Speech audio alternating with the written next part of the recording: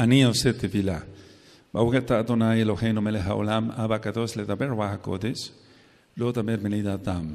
בשם גדול ישוע המשיח, תודה רבה, אומם ואומם. שבבקשה אחים, su servidor quien le habla, doctor Javier Palacios Elorio, Roe de la Quejila Gozo y Paz en Tehuacán, Puebla, México. Le invitamos de parte de todos a visitar los sitios en internet gozoypaz.mx, sinjatora.org en español, jacoswell.net en inglés, el canal de YouTube Shalom 132 y ahora nuestra radio Sinjatora. Usted encontrará videos, audios y apuntes que puede bajar, copiar y regalar. Hágalo con toda confianza. Nosotros en esta congregación no hacemos negocio con la palabra del Todopoderoso. Vamos a ver una parashá el día de hoy que es muy, muy, muy profunda, como todas las parashot.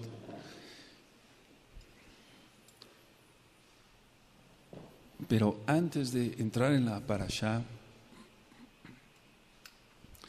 en esta semana, cada uno de nosotros tiene encuentros con el abacados y a veces tenemos encuentros en oración, estando en oración, estando en ayunas, eh, etc. Entonces, yo tuve, así como tú has tenido, seguramente un encuentro más con el abacados y yo le, yo le pregunté varias cosas. Y una de ellas es que cuando yo era niño, yo quería que los demás fueran como yo. Estando en, déjenme ver, segundo de secundaria, yo tocaba guitarra en aquel entonces y mucha gente me buscaba para dar serenatas. No sé si se conozca allá en tu país lo que es una serenata. Cuando alguien está enamorado, perdón por lo que voy a decir ahora, ahora ya sé que todo eso no se hace, cuando, cuando está enamorado, quiere llevarle unas canciones a su amada y llegaban a la casa de mis padres y entonces decían, oiga, aquí está el muchachito que toca la guitarra y canta. Sí, y entonces ya me presentaba yo. Y lo que pasó ahí es que la gente me contrataba mucho para dar serenatas. Yo acabé la primaria a los 12 años, a los 14 años ya estaba yo llevando serenatas para ganar dinero. Y se fueron aumentando más los clientes. Decías, me decían, nos gusta cómo tocas, muchacho, y cómo cantas. Y entonces yo compuse varias letras de canciones que tenía, estoy hablando así porque tengo un poquito de fiebre, ¿eh? no, no, no se espanten. Y entonces la, compuse varias canciones con dos sílabas. Y compuse eh, una canción, perdón, con, que podía caberle el, el, nombre de una mujer que tuviera su nombre dos sílabas. O tres sílabas, otra canción. Entonces yo le decía a la persona, ¿cómo se llama su, su novia o su amada? Se llama, por ejemplo, Patricia. Ah, entonces la de tres, Patricia, ¿no? O cómo se llama su amada, eh, que el nombre más común, María. Y entonces empecé, empecé, a ganar buen dinero y yo dije, esto puede crecer. Entonces, en la secundaria había muchos muchachos que tocaban muy bonito la guitarra y había un muchacho que se compró una mandolina y me decía, ¿me enseñas a tocar mandolina? Le digo, no sé tocar mandolina, pero si, si, así decía yo, si Dios me da sabiduría, yo aprendo y yo te enseño. Y sí, bendito es el abacados. Entonces le enseñaba yo mandolina, le enseñé mandolina. Se formó un grupo como de 10 personas. Yo hacía un requinto, le enseñé a hacer contrarrequinto a otro, los demás acompañaban y el de la mandolina. Pero lo que sucedió es que en los ensayos llegaban tarde. Uf, y ahí empecé a hacer corajes. Dije, no, esto no va a funcionar. Llegaba tarde el del requinto, el del contrarrequinto, llegaba tarde el del acompañamiento, o llegaba tarde el de la mandolina. Y entonces dije, hablé con ellos fuertemente, les dije, ¿no les gusta ganar dinero? Sí, sí nos gusta. Entonces, ¿por qué son flojos? Vengan a los ensayos, porque así no nos va a contratar la gente. Para no hacerles el cuento largo, acabé otra vez tocando solo. Y entonces mi papá al ver mi sufrimiento me decía, hijo, no, no, no, te, no te esfuerces tanto para que los demás, que tú quieras que los demás sean como tú. A ti te gusta estudiar y la acabó de para Yahweh. Te gusta ser puntual. Después Fui cobrador de una tienda, de otra, de etcétera, y después vendí pilas con un tío y de ese dinero entonces hice un titiretero, es decir, eh, con unos palos bien pintaditos y todo, que me ayudó un hermano en sangre a hacerlo, y entonces me compré unos títeres. Y yo dije, se puede colaborar con otros y que, y que hagan esto, pero no, no se logró. Y entonces seguí trabajando solo. Para eso ya yo iba en tercero de, secundaria y la abuela eh, eh, paterna, ella me conseguía los clientes, los niños, ella se llevaba con muchos niños y me decían, ¿no has ido a ver el teatro de mi, de mi nieto? No, dile a tu papá que te dé cinco pesos. Perdón que esté hablando esto en Shabbat, pero a lo que voy. Y entonces, y ve, yo te y llegaba mi abuela como con 30 chamaquitos. Abuelita, te voy a dar tu, tu parte. Entonces, daba yo las funciones, pero dije, no, esto puede crecer. Puedo poner a alguien a hacer palomitas y que, y que esto crezca, pero desgraciadamente la persona que hacía las palomitas las hacía mal o llegaba tarde ya que había acabado la función y acabé trabajando solo otra vez. Pero mi abuela me siguió apoyando. Me voy a la universidad, bueno, ya después la preparatoria hice otras cosas, pero ya en la universidad fui músico y aunque mis padres me daban todo, como yo se los comenté alguna vez, eh, me gustó trabajar siempre y de ahí sacaba yo para los libros de medicina, que son muy caros. Hasta la fecha son muy caros. Se pueden ahora consultar ciertas cosas en internet, pero no hay como esos librotes de medicina, hermosos.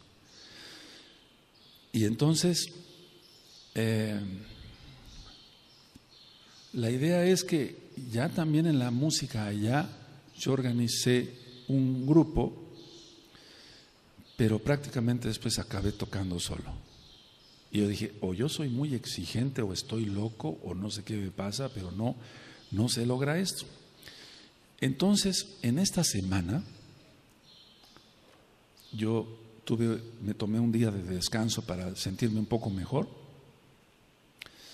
y le dije a la Saba, yo estoy seguro que tú me encomendaste una misión, que varios hombres o al menos eso pienso yo, conocieran de tu Torah, eso sí tengo un por seguro, y que fueran como yo, que no les guste hacer tracalerías, ni mentirosos, que no les guste ver pornografía, que no les guste ver mujeres en la calle y desearlas, porque eso es pecado. Pero mira, creo que fracasé. Y entonces el Abba, Él nos consuela. Porque oí su voz claramente y me decía, no, tú no fracasaste. Es que no aman mi Torah a los que les has enseñado. Y para que tú entiendas bien la profundidad de todo esto, te invito que el próximo viernes te conectes, porque dentro de ocho días nada más toca una parasha entonces, la parashá la voy a dar, si el Eterno me presta vida y salud, el sábado a las 4 de la tarde. Pero el viernes quiero dar ese tema. Es como la continuación de lo que yo te acabo de decir. Y eso me consoló porque mi padre me consolaba aquí en la tierra, el padre terrenal, me decía, no, no, no, no, es que es, que es así, así, así. A la gente no le gusta trabajar, le gusta, eh, no le gusta hacer esto, no les gustan los compromisos, hijo. Eso me decía mi papá. Y ahora en esta semana, y vuelvo a repetir lo que tantas veces he dicho a Nilo Mishuga, no estoy loco, yo vuelvo o escuché la voz del Eterno, o sea, se siente cuando se escucha la voz del Abba, de no, no fracasaste, es que no quieren mi Torah. Entonces, en ocho días, por favor, yo les pido, por favor, venga toda la quejila, tengas o no tengas fiebre, aquí estoy yo. Y para los hermanos Sahim que, están conectados ahora, comenten esto para que dentro de ocho días estemos todos conectados y entonces vamos a entender algo bien profundo que el Eterno me ministró en esta semana. Vamos a entender más cosas, ¿de acuerdo? Amén. La parasha de hoy se llama Aharei Mot. Aharei. Voy a deletrearlo. A, J, A, R, de razón, E, Ernesto y la letra I. Ahareit o Aharei, M-O-T, aparte M-O-T, Aharei Mot, que quiere decir después de la muerte. Se está refiriendo después de la muerte de los hijos de Aarón. Cuando nosotros decimos en hebreo Aharkak o Aharkak, quiere decir después. Meot es muerte, pero aquí ya está conjugado. ¿Sí? A ver cómo se llama la parasha. Eso. Ahora, cuando nosotros estamos en las fiestas, por ejemplo, ahora que pasó la fiesta de Pesa, Hamatza, Bikurim, ahora que viene la fiesta preciosa de Shavuot, como que nosotros revivimos, no sé si te pasó a ti, pero como que revivimos, se alegra nuestro corazón, nuestra alma. Y nosotros necesitamos la fuerza de esas fiestas, porque en esas fiestas está la Shejina de Yahweh. Se derrama el Rahaco desde Yahweh. Y es como más que medicina nuestro cuerpo, nuestra alma, nuestro espíritu. Entonces, eh, ahorita estamos en Shabbat, es una fiesta está en Baikra 23, la primera fiesta. Abraham miraba el galardón. Job miraba el galardón. No es pecado mirar el galardón. Hay un audio sobre coronas y galardones. Cuando nosotros estamos en una fiesta o estamos, por ejemplo, como hoy en Shabbat, es como si tuviéramos más galardones si cumplimos bien cada fiesta. Las coronas tú las vas a encontrar ahí, corona de justicia, etcétera, etcétera. Pero en cuanto a los galardones, es un premio especial, por así decirlo, que somos inmerecedores. Es un premio por haber guardado con celo las fiestas, la Torah. Entonces, esto es muy importante porque nos estamos acercando al fin. Y, y nosotros no queremos más diplomas, por así decirlo, pero sí queremos la bendición del abacados. Yahshua dijo, todo lo que dijo es importante porque él es Elohim. Yahshua dijo que, no se sepa lo que, que, hace la mano derecha, lo que hace la izquierda, porque si no ya recibe su recompensa la persona aquí en la tierra. Lo que nosotros estamos buscando es la recompensa de los cielos. Ese es el galardón.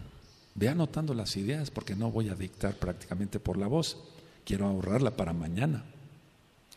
Si tú guardas bien este Shabbat con gozo, con alegría, sin que yo te diga aplaude, grita de júbilo, etc., es tener más galardón. Y esto va de acuerdo a lo que yo ministré en un principio para el tema dentro de ocho días.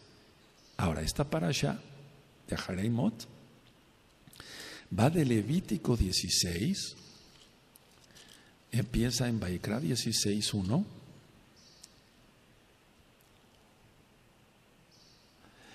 Y va hasta el 18, verso 30. 18, verso 30. ¿De acuerdo?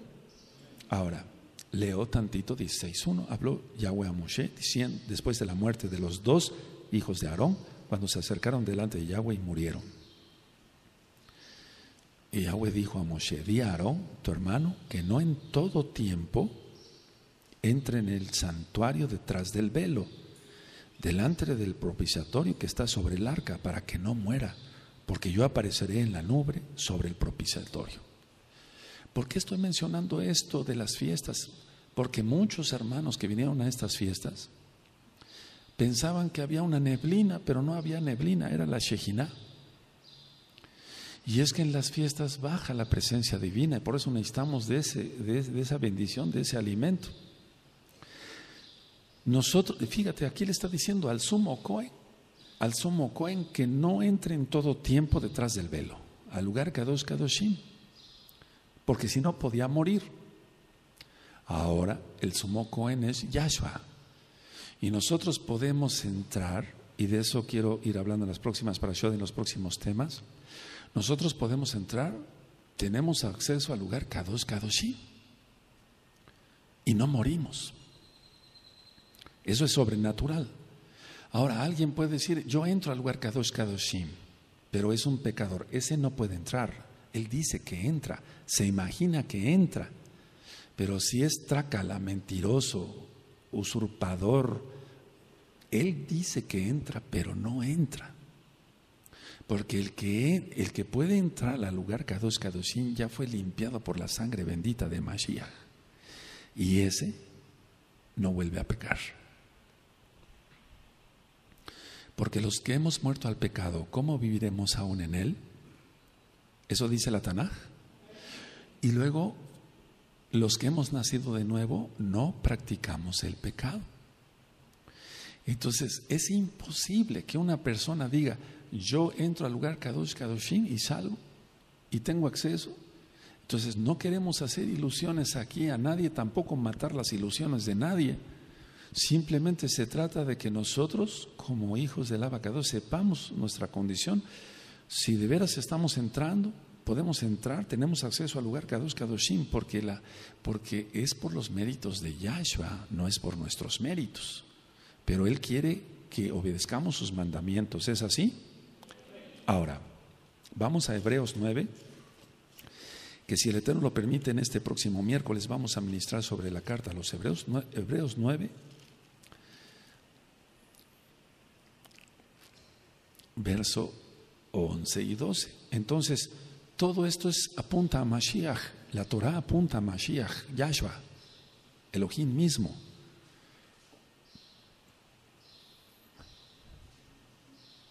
¿De acuerdo? Dice Hebreos 9:11, pero estando ya presente Mashiach Yahshua, sumo cuenta de los bienes venideros por el más amplio y más perfecto Mishkan. Ahora véanme tantito, eso está en otra parasha. Cuando él dijo, destruyan este templo y yo lo reedificaré en tres días, él estaba hablando de él, porque él es el templo. ¿Recuerdan la parasha? ¿Qué parasha fue? Del dibujo. ¿Quién recuerda? A ver, si no después lo, lo, estudia. No hecho de manos, es decir, no, no de esta creación, ni por sangre de machos cabríos ni de becerros, sino por su propia sangre. Entró una vez para siempre en el lugar Kadosh Kadoshim, habiendo obtenido eterna redención, o sea, salvación, ¿para quién? Para nosotros. Entonces, al sumo Cohen de aquel tiempo le dijo Yahweh a Moshe que no entre tu hermano Aarón acá, Recordamos que la vara reverdeció. Eso lo vamos a ver después también en otras parashot. Vamos a recordar varios pasukim. Recordamos que en el arca estaba la vara que reverdeció. ¿Recuerda? ¿De quién era la vara? Estaban las dos tablas, las dos brujot, las dos tablas de la Torah. Y estaba otra tercera cosa, el maná. Eso estaba dentro del arca. ¿De acuerdo? Ahora, en el caso de de Mashiach, que él vino como siervo sufriente y vendrá ahorita como rey. Vamos por favor a Baikra, vamos por favor allá otra vez. Vamos a Baikra en el 16. Bendito es Yahshua Mashiach. Que cada minuto que dediquemos al Eterno, lo dediquemos como si fueran los últimos. Y nos estamos acercando a eso, hermanos. Dice 16.2, y Yahweh dijo a Moshe y a Aarón, tu hermano, que no en todo tiempo entre en el santuario. Entonces, el día de Yom Kippur, para que ustedes puedan ir anotando algunas ideas, el día de Yom Kippur el Eterno lo puso para que no, eh, ¿cómo podría decir? Después de la muerte de los hijos de Aarón. Es decir, ese día en especial. Según la tradición judía verdadera, entraron el primero de Aviv cuando se embriagaron los hijos de Aarón e hicieron cosas que no eran convenientes, o sea, entraron pasados de vino. Y entonces esa, esa bendición que tenían los cuanín de entrar y salir se les acabó con el pecado de los dos hijos de Aarón. Ya no podían entrar, nada más podía entrar una vez al año y solamente el Cohen Gadol, no cualquiera. Y hemos ministrado que tenía, le amarraban una campanita por si moría ahí adentro, por ser un irreverente, entonces jalarlo. Fíjense que hubiera entrado alguien mentiroso, tracalero, lujurioso. ¿Cómo podía entrar? Por eso empecé con la, la introducción del día de hoy para el tema dentro de ocho días viernes en Shabbat, Erev Shabbat, ¿de acuerdo? Ahora, ¿por qué hizo esto el Eterno? Para evitar que ocurriera otra vez, o sea, otras muertes. cuando alguien se le pone a disciplina, no es, ya lo ministré, es para que haga teshuva. Y yo me pongo a orar y a ayunar, pero desgraciadamente mucha gente no entiende eso porque no entiende Torah. Entonces, el Eterno no lo puso como un castigo, Yom Kippur, sino para evitar más muertes, más muertes. El Eterno dijo cómo debía entrar el sumo Cohen quién debería entrar, el sumo Cohen solamente, y cuándo debería entrar. Entonces, tres cosas dijo el Eterno, cómo, quién y cuándo. El Eterno es perfecto. Y entonces, ya hemos dicho que el propiciatorio, la capa que cubría el arca, el caporet, la cobertura, la cubierta, y de ahí surge la palabra Kippur, o Yom HaKippurim, el día que se cubre los pecados. Entonces nosotros podemos decir que, que este día se refiere a perdonar, anótenlo, se refiere a expiar, a compensar, el Eterno nos perdona, a absorber.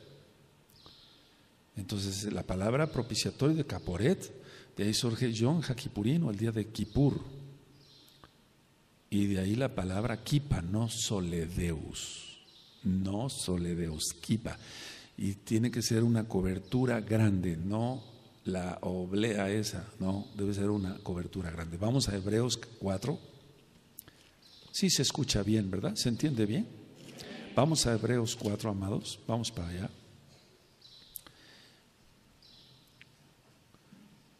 Y entonces nosotros ahora en Yahshua tenemos, bendito es su nombre, esa oportunidad. Pero muchos dicen, yo tengo acceso al lugar Kadosh Kadoshim. ¿Será? ¿Será si una persona es lujuriosa? Vamos a ver eso en ese tema. Ese tema no es una parasha, es un tema especial, como la parasha también. Hebreos 4, verso 14. ¿Lo tienen? Por tanto, teniendo un gran sumo Cohen, que traspasó, traspasó los cielos, Yahshua, el Hijo de Elohim, retengamos nuestra fe, retengamos nuestra fe, no, no nuestra profesión, nuestra fe. Porque no tenemos un sumo Cohen que no pueda compadecerse de nuestras debilidades, y sobre eso quiero hablar en ocho días, sino uno que fue tentado en todo según nuestra semejanza, pero sin pecado. Recuerda, fue semejante, pero no igual. Y dice el 16, acerquémonos pues confiadamente al trono de la Rajem para alcanzar así mucha rajamín, de lo que ya hablé apenas, y hallar rajem, como ayuda. Ahora, el arca es el trono de Elohim. El arca es el trono de Elohim. Y vamos a ver eso también en otros estudios, en otras parashot, cómo inclusive Job recibió bendición de las visiones de lo que era el arca, o sea, el trono más bien de Elohim. Entonces los querubines estaban en la par con sus alas, pero sus alas son el espaldar de, de Yahweh, Elohim, de la Shejinah. ¿Sí me estoy dando a entender? Entonces, el arca es el trono mismo de Elohim. Por eso dice, acerquémonos en el 16, pues confiadamente al trono, al arca, al trono, porque ese es su trono. Bendito es el abacados. Es, ah, nada más es un trono de oro, eso es lo físico, pero está en la cuarta dimensión, independientemente del arca que está abajo, allá en Jerusalén. Pero es, es, dejemos si es físico acá, espiritual, pero dice aquí que es el trono de Rajem, anótenlo. Entonces nosotros nos acercamos. Cuando alguien se acerca a pedirle un favor en un reinado al rey, se acerca, eh, como en el caso de Esther, al trono del rey, ¿no? Sí, en este caso el rey de reyes, bendito Yahshua Mashiach. Ahora, este, este, esta arca, el arca de la alianza, que tenía esas tres, estas tres hermosuras, la vara de Aarón, las dos tablas y el maná, es el trono de Elohim. Ahora, este trono no podía ser visto por nadie más que por el sumo Cohen una vez al año. Sin embargo, Moshe podía entrar y salir cuando Yahweh le hablaba. ¿Por qué? El Eterno, aunque los dos eran de levitas, el Eterno escogió a Aarón como su amocoen y Moshe tenía otro lugar, otro lugar y un lugar muy especial. Ahora entonces, a ver, el arca es el trono de Elohim, el espaldar, el espaldar las alas de los querubines. Oh tu abacados Yahweh Sebaot, que estás entre los querubines. Si así dice la cita, después vamos a ver todo eso. Ahora, vamos a Romanos, amados Ahim, en Romanos 3, verso 25 y 26.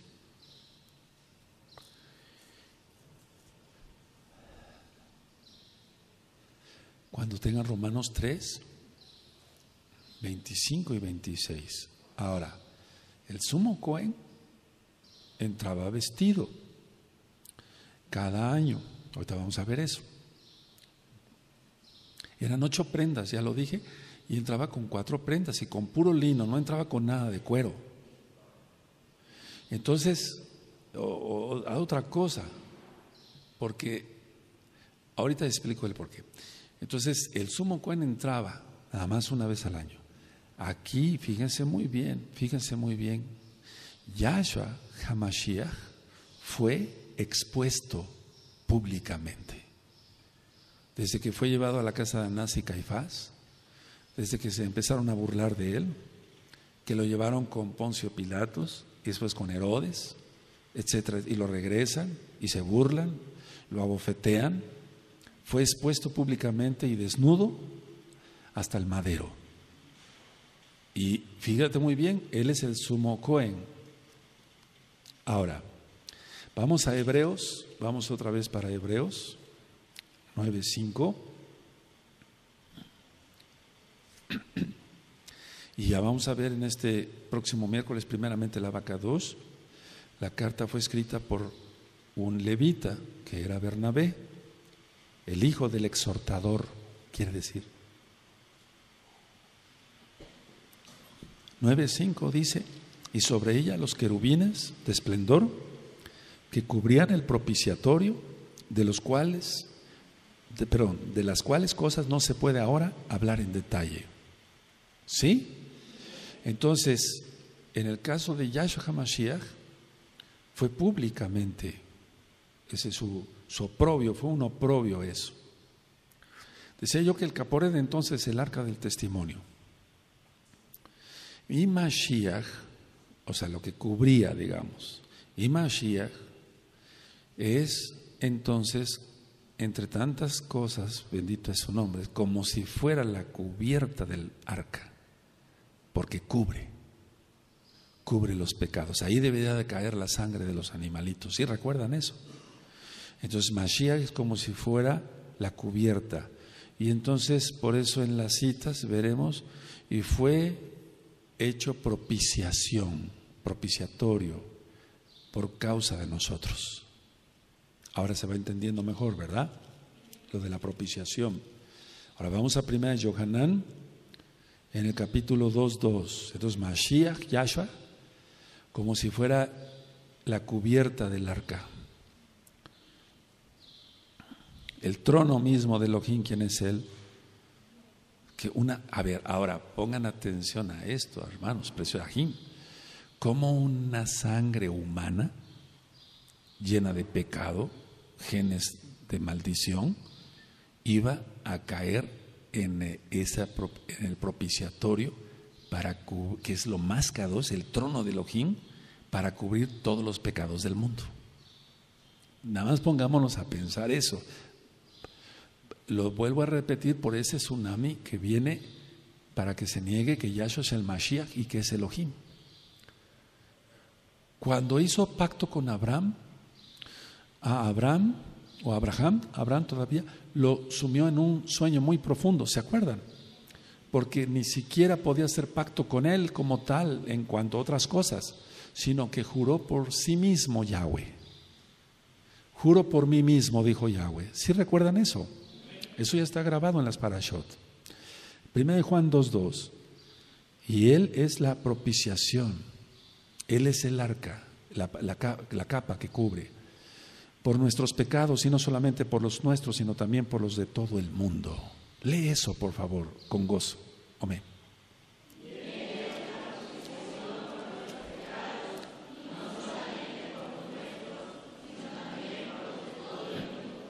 Entonces la gente que no entiende Torah ni el Brit empiezan a hablar, mal de Yahshua, niegan a Yahshua como el Mashiach y eso es perdición eterna. No hay remedio para eso. Vamos a primera de Yohanan, allá adelantito 4, verso 10. Bendito es Yahweh. Primera de Yohanan 4, verso 10. En esto consiste el amor, no en que nosotros hayamos amado a Elohim, sino en que Él nos amó a nosotros y envió a su Hijo en propiciación por nuestros pecados. ¿Saben eso? Leanlo ese verso.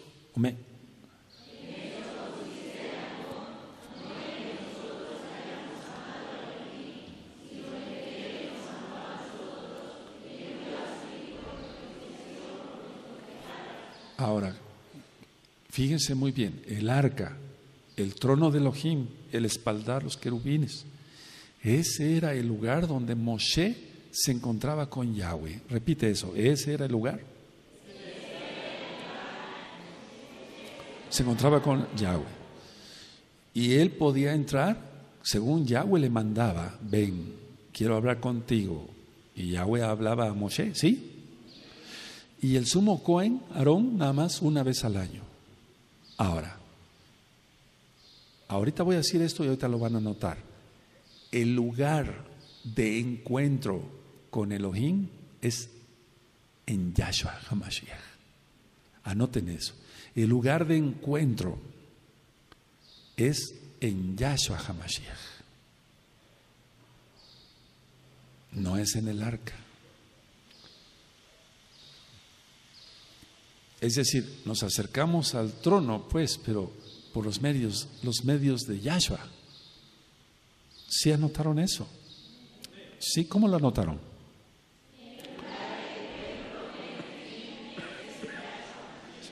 Si tú quieres decir, yo, yo tengo acceso al, al lugar Kadosh Kadoshim, al trono de la gracia, por mis méritos. No, estaríamos mal. Por los méritos de un ángel. No, estamos mal. Por los méritos de Yahshua. El lugar de encuentro para que el Eterno, por su inmensa rajamín, nos hable es en Yahshua.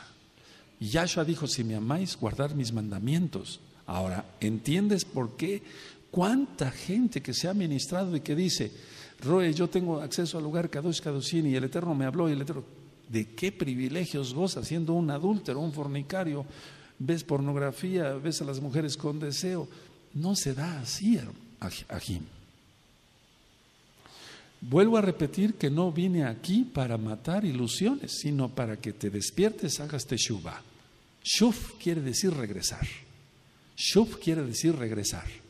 Teshuvah es regresar a la senda antigua. O sea, Teshuvah quiere decir arrepentimiento, lo hemos conocido como arrepentimiento, pero quiere decir regresar a los brazos del abacados. Shuf. Aleluya. E es S H U P chica. Fíjense qué hermosa administración, porque es la Torah.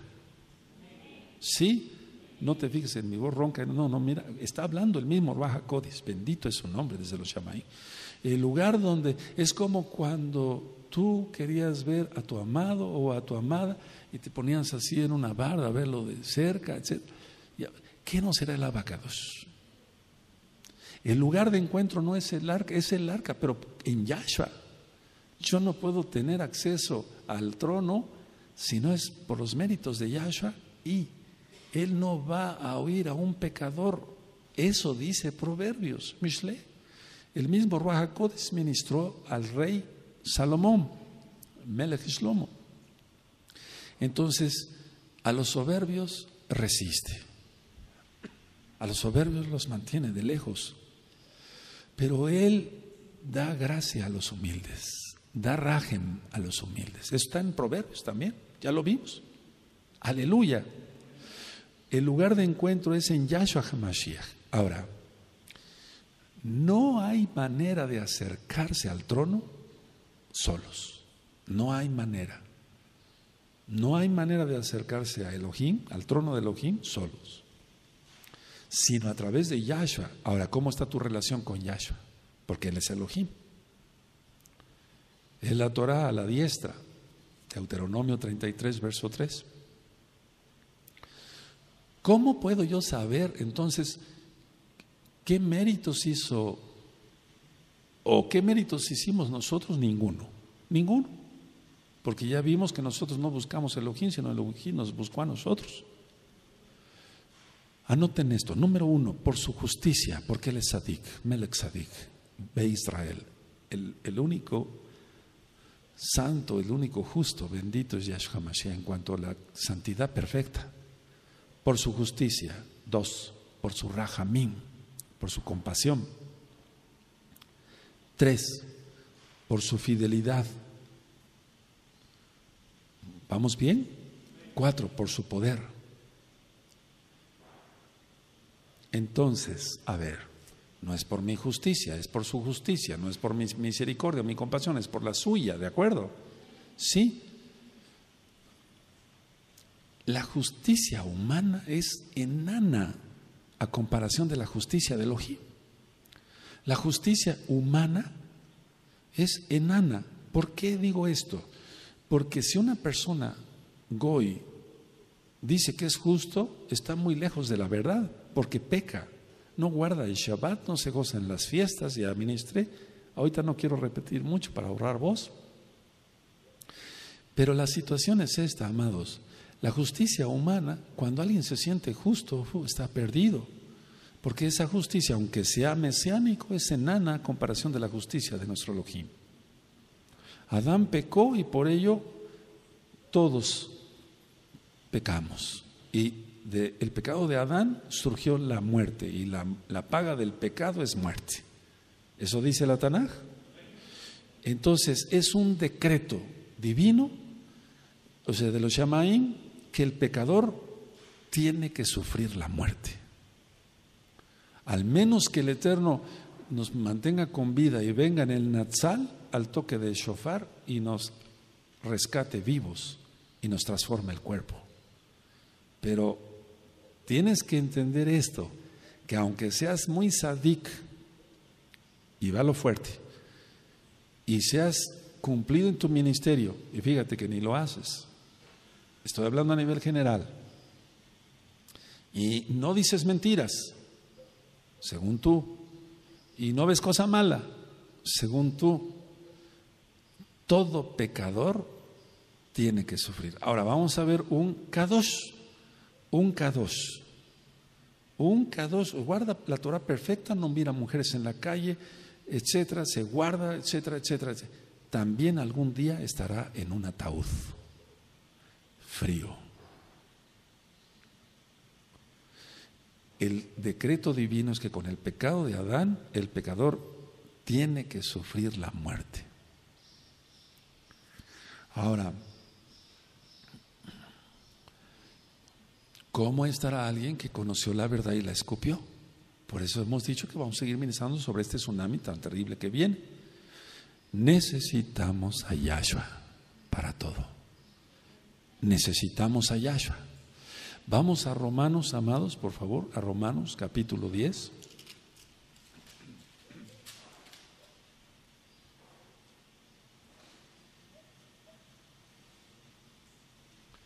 Y entonces la gente hace sus propias doctrinas, sus propias religiones, inclusive mesiánicos hacen y deshacen, se dicen mesiánicos, pero no lo son. Romanos 10, verso 3, y después ya tú lees todo el contexto. ¿Sí tienen Romanos 10, verso 3? Porque ignorando la justicia de Elohim y procurando establecer la suya propia, no se han sujetado a la justicia de Elohim. A ver todos, amén.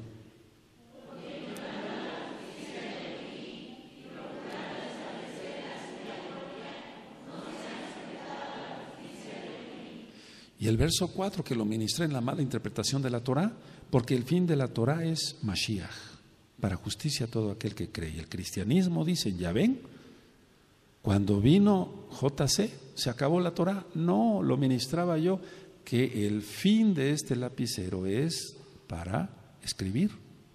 La finalidad en Yahshua es la misma Torah. No es el fin de un ter, o sea, hablando de un término, eso ya lo vimos, ¿de acuerdo? Sí, Amén. Entonces, a ver, ¿qué nos está explicando aquí Shaul? Ya lo vimos, pero lo vamos a repasar. No se puede acercar uno a Elohim solamente guardando Torah y, decir que Yahshua no. No se puede uno acercar al arca, al trono, porque en sí la única manera es en Yahshua. Es a lo que se refiere aquí. Amén. Ahora miran qué anhelo tenía Shaul. 10.1. Ahim, ciertamente el anhelo de mi corazón y mi oración a Elohim por Israel es para qué? Salvación.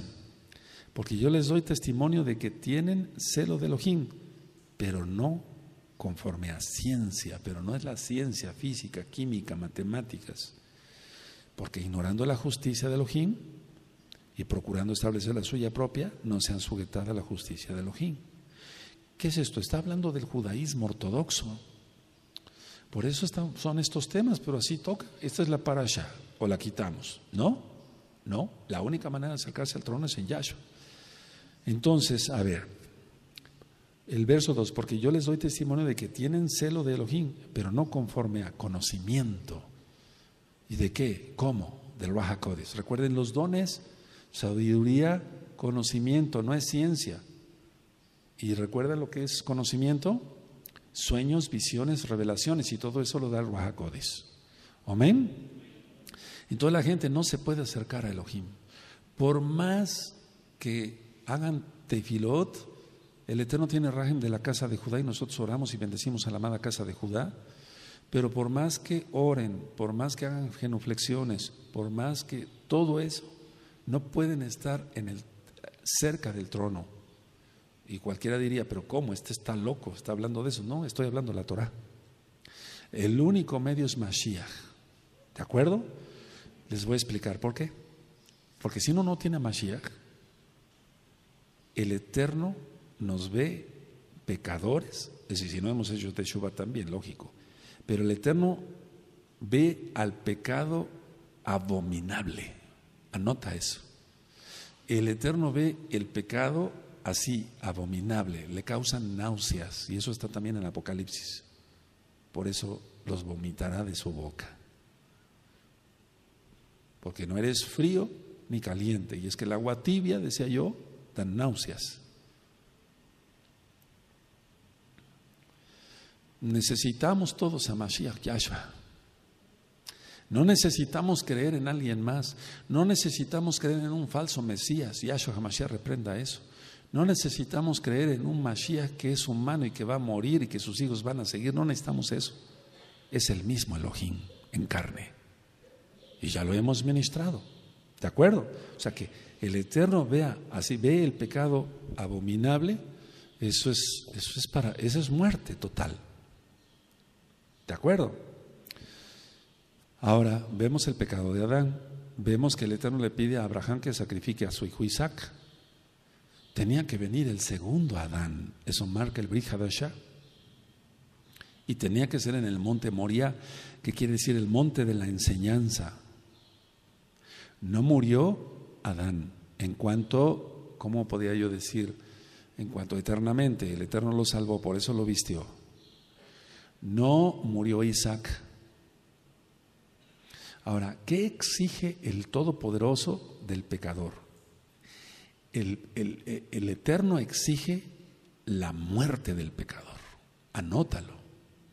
Porque muchos, bueno, no aquí pues, pero muchos se creen muy kadoshim y piensan que el piso no es nada para ellos y que ya casi están levitando. El Eterno exige la muerte del pecador. Pero Mashiach, Yahshua, no fue pecador. Él se hizo pecador o pecado por nosotros. Eso ya lo hemos ministrado muchas veces. Eso lo dice Isaías. Él se hizo pecado. Entonces nos acercamos al trono. ¿Cómo? ¿Solos? No. ¿En pecado? No, tampoco. Es en Yahshua, obedeciendo sus mandamientos de Yahshua. La Torah viviente la Torah de Mashiach, Yahshua, como dice Shaul, mal llamado Pablo. Él regresará por segunda vez, él se fue, Yahshua va a regresar por segunda vez. Él va a volver y él viene y su Torah a la diestra, él es uno. Shema Israel, Adonai Elohim, Adonai Echad. Ahora, vamos a Levítico, allá donde empezamos la parasha. No crean que me desvío, o sea que muchas cosas ya están filmadas y grabadas. Permítanme irme a lo que no habíamos analizado o aprendido. ¿De acuerdo? En Levítico 16, verso 3,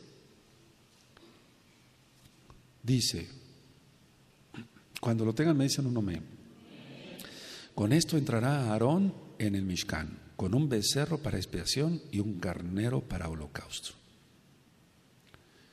Tremendo. Entonces, a ver, anótenlo, por medio de animales sustitutos podía entrar. Por medio de animales sustitutos para pedir perdón. Y lógico que estos sacrificios apuntan a Yahshua HaMashiach. Aleluya. Una semana se preparaba el Cohen Gadol. Anótenlo por si no se acuerda. Una semana se preparaba el Cohen Gadol y así ya entonces ya podía entrar al lugar Kadosh Kadoshim porque estaba una semana en el, una semana en el Mishkan. ¿De acuerdo? Ahora, vamos a números 19, vamos tantito para allá, ya vamos a entrar desde luego a números, a meditar. 19, verso 11, cuando tengan 19, verso 11.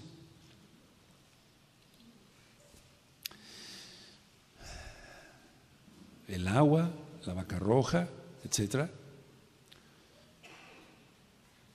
¿Y por qué una vaca? Porque tenía que ser superior a un becerro, ya que habían hecho el becerro de oro, eso ya lo ministramos hace tiempo, pero para los que no, no habían escuchado o son flojitos y no les gusta escuchar los audios de gozo y paz y les gusta estar investigando a ver si aprenden más cosas, mejor aprende primero lo que ya está grabado. Hay una enseñanza tremenda. Lo de la vaca roja es vaca, ¿por qué? Porque tenía que ser mayor a un becerro. ¿Sí? ¿Se entiende? Amén. El once, el que tocare cadáver de cualquier persona será inmundo siete días. Al tercer día se purificará con aquella agua y al séptimo día será limpio. Y si al tercer día no se purificare, no será limpio al, séptimo día. Todo aquel que tocara cadáver de cualquier persona y no se purificara, el miscán de Yahweh contaminó y aquella persona será cortada de Israel por cuanto el agua de la purificación no fue rociada sobre él. Inmundo será y su inmundicia será sobre él. Eso se refiere a la vaca roja, lo vamos a ver después. Ahora, vamos a, porque todo ese sacrificio apuntan a Yahshua HaMashiach, Yahshua HaMashiach, Yahshua HaMashiach. Vamos a Vallecra 16, en el verso 4. Vamos para Yahim. Aleluya. Se vestirá la túnica Kadosh de lino y sobre su cuerpo tendrá calzoncillos de lino, se ceñirá el cinto de lino y su turbante de lino, con el turbante de lino se cubrirá. Cuatro vestimentas y todas de lino, anótalo así, para que no se te olvide. Son las consagradas o apartadas vestiduras, con ellas se ha de vestir después de lavar su cuerpo con agua. Por eso vimos la cita de números 19. Porque no nada más servía para eso. Vamos a ver otras para yo después. Ahora, para Yom Kippur entonces tenía que usar una ropa especial. Esto fue, por eso se llama la parasha, ¿cómo se llama? Haremot. Después de la muerte de los hijos de Aarón, el Eterno dio estas indicaciones. Cuatro prendas para entrar al lugar Kadosh Kadoshim. Y las prendas tenían que ser nuevas cada año. No podía entrar con unas prendas ya usadas. Se usaba una sola vez, nada más. Nosotros recordamos que el Cohen Gadol se vestía con ocho prendas, pero para este día especial cuatro prendas. Ahora, sabemos que hay mundo vegetal, por así decirlo, mundo animal, mundo mineral. Sí, pero aquí fíjense muy bien, no entraba ni lo animal, ni el mundo animal, ni el mundo mineral, solamente el vegetal. Anótenlo, porque tiene un trasfondo para explicar. Y es que la ofrenda vegetal, según ya lo vimos, era la ofrenda de los pobres. No entraba con algo de cuero, no entraba con la diadema, no entraba, no, no, con nada más cuatro prendas y de lino. Entonces hay mundo vegetal, animal y mineral, entraba solamente con lo representativo del mundo vegetal, porque era la ofrenda de los pobres, ¿se acuerdan de eso? Entonces, el vestirse del lino, toda la vaca dos, el vestirse del lino era decir, estoy aquí como una ofrenda vegetal, estoy en humildad ante tu presencia, bendito Elohim. Anótenlo. En Yom Kippur, como la ofrenda para los pobres. Eso debemos de ser en el Espíritu, todos. Empezando por los líderes de las congregaciones, de las que Si se vestía de lino, era mundo animal o mineral o vegetal. Y significa humildad ante la presencia de Elohim, la ofrenda de los pobres, etcétera. ¿De acuerdo? ¿Sí? Ahora, cuando llega una persona a esta quejila o allá, se le empieza a ministrar Torah.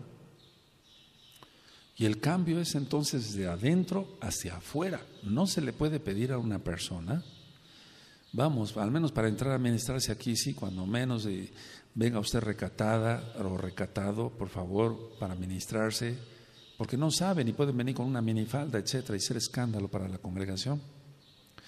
Entonces, el cambio primero es interior y después es exterior.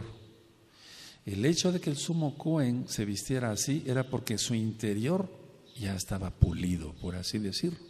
Ya era humilde de veras de corazón. ¿De qué serviría? Que entrara con las cuatro prendas de lino, vegetal, humilde, ante el Eterno supuestamente, y fuera un pecador. Moría. Moría. ¿De acuerdo? Sí, lo anotaron, la idea. El Eterno sabe cómo estamos vestidos acá. Si vestimos sencillamente o recatadamente, pero Él ve cómo está nuestro interior. interior. ¿Recuerda? Metzorah, la parasha de la lepra.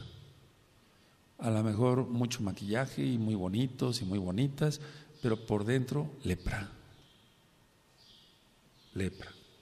Entonces cuidado porque el Eterno ya viene, bendito es su nombre. Entonces la persona cambia primero y ya después en lo interior y ya después cambia su vestimenta. ¿De acuerdo? Cuando Samuel llega, porque el Eterno le da la orden de ir a ungir rey, es este, no te fijes en la apariencia, porque el Eterno ve el corazón. Anota ese ejemplo, más Samuel, David, etc. El Eterno ve el corazón. Y lógico, si está el corazón convertido a Él, nuestra vestimenta es recatada y limpia.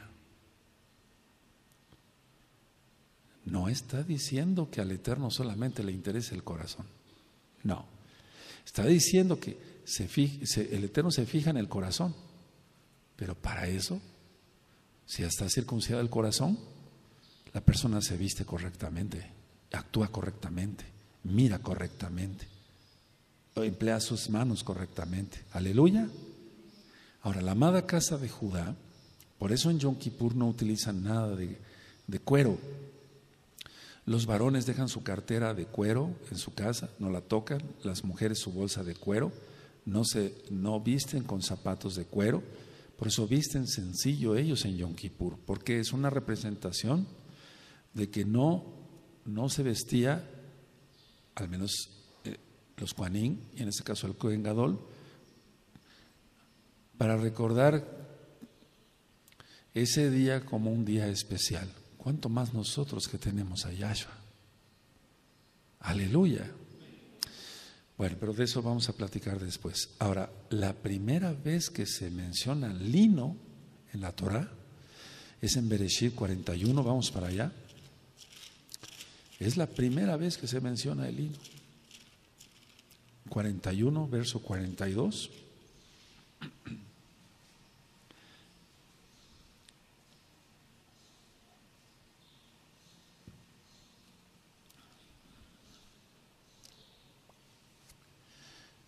Si tienen 41, 42, entonces Faraón quitó su anillo de su mano y lo puso en la mano de Yosef y lo hizo vestir de ropas de qué? De lino finísimo y puso un collar de oro en su cuello. Entonces es cuando Yosef iba a comenzar a reinar. Es cuando es exaltado Yosef. Es la, vista, la misma vestimenta del Cohen Gadol. Por eso es Mashiach Ben Yosef. Eso ya lo vimos en unas parashot, de hace varios años. Ahora, Yahshua, en el momento de su muerte, lo envuelven en un talit de lino.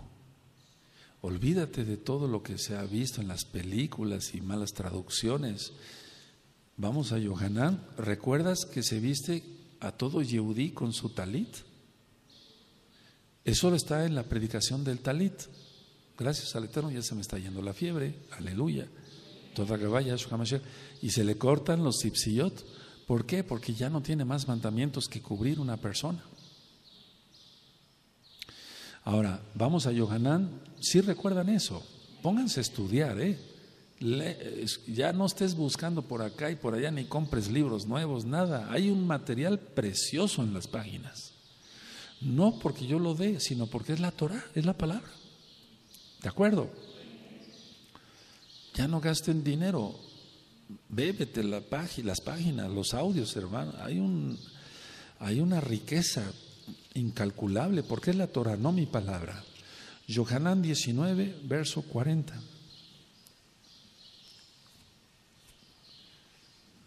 ¿Cuál es la costumbre de sepultar a los Yehudim? Con su talit. Aleluya.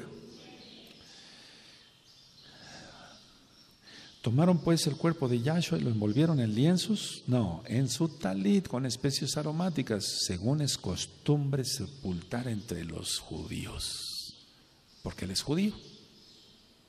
A ver todos el 40, amén.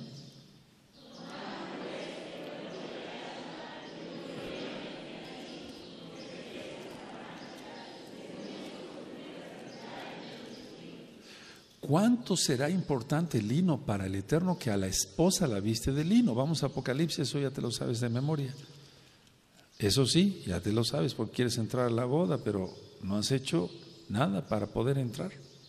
Yahshua ya lo hizo, pero él quiere que obedezca sus mandamientos. Aleluya. Apocalipsis 19, verso 8. ¿Si lo tienen? Y a ella se le ha concedido que se vista de lino fino, limpio y resplandeciente, porque lino fino es las acciones justas de los kadoshim, es decir, las mitzvot, cumplir los mandamientos. ¿Cumplir qué? Ahora, vamos a números, tantito. Bendito es Yahweh. Él es bueno, hermanos. Ahim, Él es muy bueno con nosotros. Si estamos enfermos nos sana, nos da fortaleza, nos da sabiduría, nos da todo. Aleluya. Atención, también les quiero compartir otro tema porque hay muchos ajim que dicen, bueno, usted vemos muchas citas en la y usted lo ha ministrado sobre la fe, pero ¿qué es la fe o cómo se mueve esto? ¿Por qué esto? Por... Vamos a ver todos esos temas. Y las parashot, así, pa, pa, ¿sí? Bueno, a ver.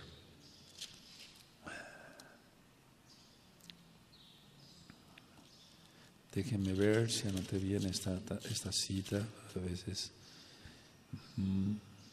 Es de Deuteronomio 29. Vamos para allá y ya voy terminando. En el verso 7. Eh, números, perdón, 29. Si les dije bien, números 29, 7.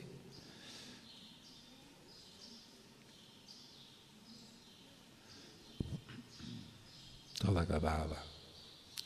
¿Sí lo tienen? 29, 7.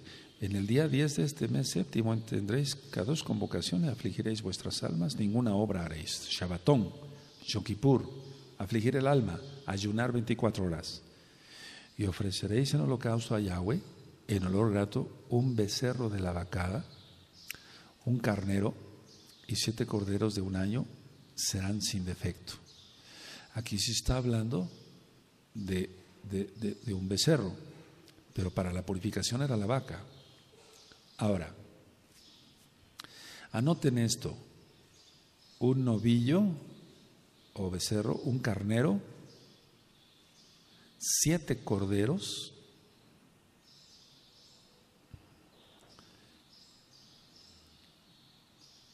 ¿de acuerdo? Amén. Y un macho cabrío para la expiación por el pecado. Ahora,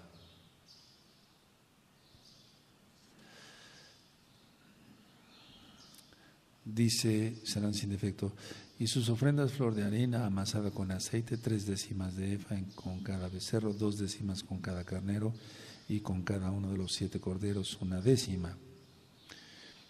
Y si tú sumas las décimas, son doce décimas de harina, anótenlo.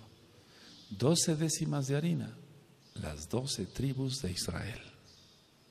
El Eterno es perfecto. El Eterno quiere que hagamos bien las cosas, no quiere que lo hagamos al y se va. Quiere que nos preparemos mejor. ¿De acuerdo? Ahora, la explicación de lo de los machos cabríos no la voy a dar ahora, ya está grabado y filmado, ya está grabado y filmado. Canal de YouTube Shalom 132 y está en las páginas gozoypaz.mx y sinjatora.org. También está en inglés en la página yacoswell.net. Ahora, ya nada más quiero para finalizar, en esta parasha, amados, vamos a Baikra 16, ya, ya todo eso está ministrado. Por eso les digo que no quiero repetir lo que ya, si yo vuelvo a repetir, entonces se puede repetir por los nuevecitos, pero mejor vamos profundizando más. ¿Les parece así? Al Eterno le pareció bien así. Por eso me, está poniendo esto en, en, mi corazón.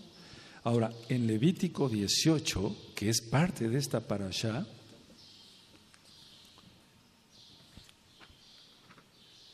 que es parte de esta parasha, está el pecado de los cananitas. ¿De acuerdo? Está el pecado de los cananitas de no descubrir la desnudez de un pariente. Y algo de lo que más he ministrado, y con esto voy terminando, es que muchos, bueno, estando en el mundo, no es una crítica, simplemente es para eh, liberación demoníaca, en el nombre bendito de Yahshua Mashiach. Muchos tuvieron relaciones con parientes, o con los hermanos, o con los primos, o hemos visto de todo y bueno, no, no, no, no, no es crítica, simplemente no se acaba uno de asombrar, yo no me acabo de asombrar de lo que eh, es el pecado. Y hay un audio que le titulé El pecado y sus consecuencias. Ahora, la, la japtará de esta parasha es Ezequiel capítulo 22. Eso ya lo lees por favor en tu casa, debido al tiempo y debido que mañana hay otra parasha. Si tú llegas después a tu casa y revisas tus apuntes, vas a ver cómo aprendiste hoy muchas cosas de la bendita Torah. Y repasamos muchas cosas más. Conclusión, para finalizar, no se puede uno acercar al trono de la gracia, de la Rajem, sin Yahshua Mashiach.